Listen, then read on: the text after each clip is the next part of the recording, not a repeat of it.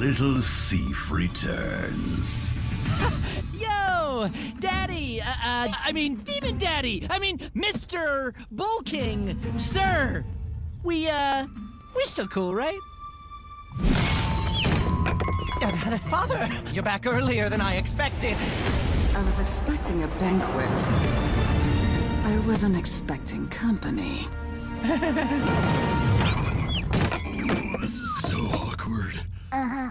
I trust you realize our little truce is at best a fragile thing. So tell me, why precisely have you intruded upon our dinner plans?